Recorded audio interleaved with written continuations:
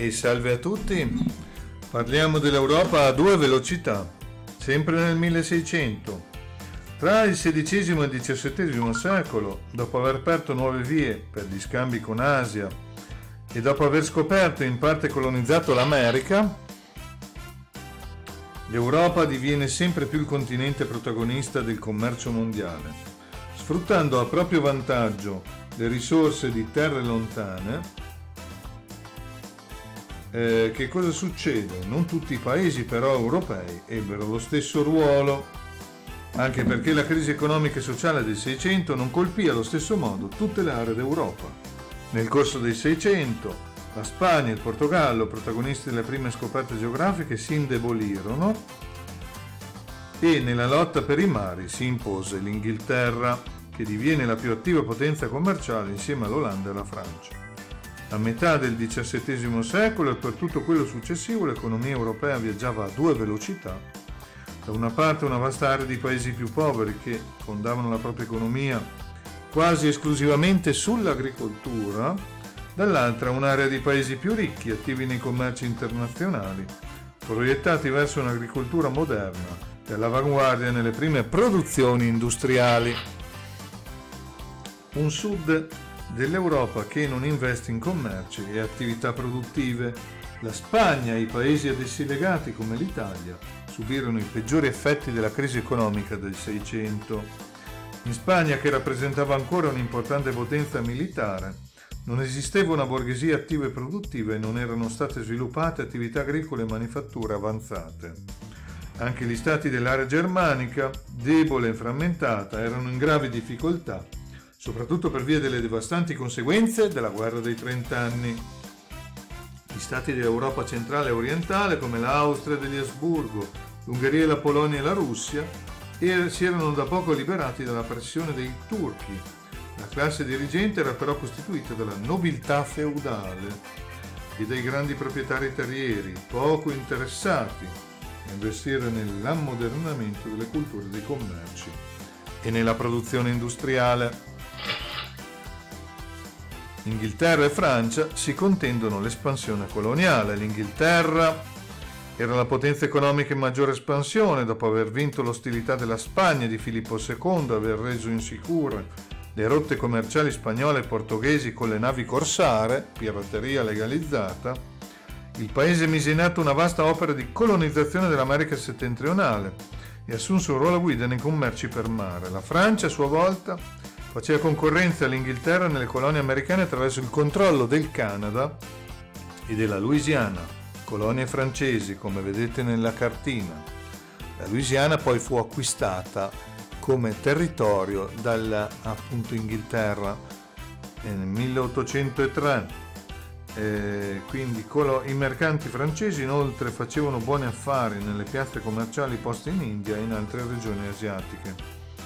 La Francia poteva poi contare sulle risorse interne, un'agricoltura moderna e sviluppata e manifatture sostenute dallo Stato e difese dalla concorrenza estera attraverso politiche protezionistiche. Ben presto lo scontro tra Francia e Inghilterra divenne inevitabile e fu uno dei motivi delle guerre europee nella prima metà del Settecento.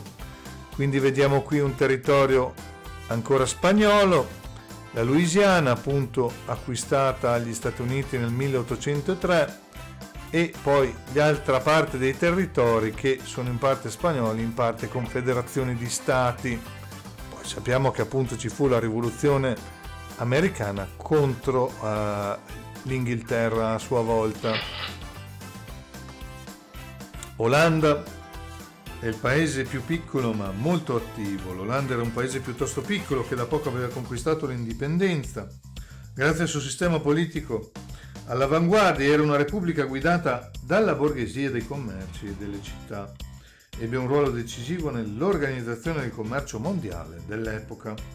Le decisioni politiche venivano prese da eh, consigli provinciali e da un consiglio generale con sede ad Amsterdam. L'Olanda riuscì a sfruttare al massimo le proprie risorse, un'agricoltura moderna, l'allevamento dei bovini, canali navigabili e porti famosi come Amsterdam e Rotterdam, che ospitavano una forte marina commerciale.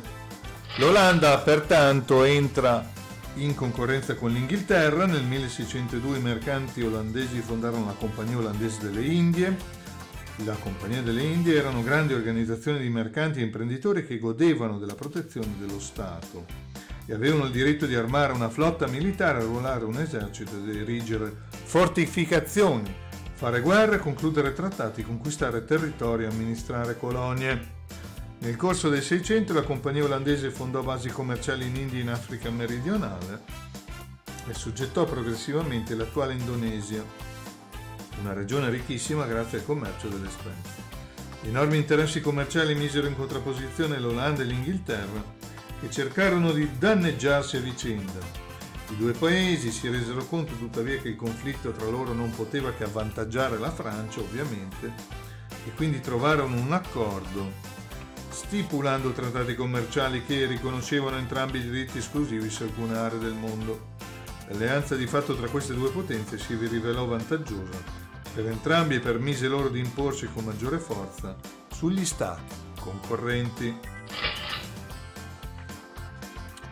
Nell'Oceano Atlantico si sviluppa il commercio triangolare importantissimo, come vedete, Oltre a estendere i traffici con Asia, le compagnie commerciali in Inghilterra, Olanda e Francia furono le protagoniste di un intenso flusso di scambi nell'Oceano Atlantico tra Europa, Africa e Americhe, detto commercio triangolare. Le navi europee salpavano dai porti francesi, olandesi e inglesi cariche di manufatti lavorati dalle industrie di quei paesi, stoffe, tessuti, armi, attrezzi, ma anche liquori, tabacco lavorato e beni di lusso. In Africa i mercanti europei scambiavano le loro merci con schiavi neri catturati all'interno del continente. Nel Nuovo Mondo gli schiavi venivano venduti o scambiati con altre merci, soprattutto con preziose materie prime, legname, metalli pregiati, prodotti agricoli locali, zucchero, caffè, tabacco e cotone. Spero di avervi incuriosito ulteriormente perché ci sarà un prossimo video sulla decadenza dell'Italia e Masaniello. Grazie per ora per l'ascolto, alla prossima!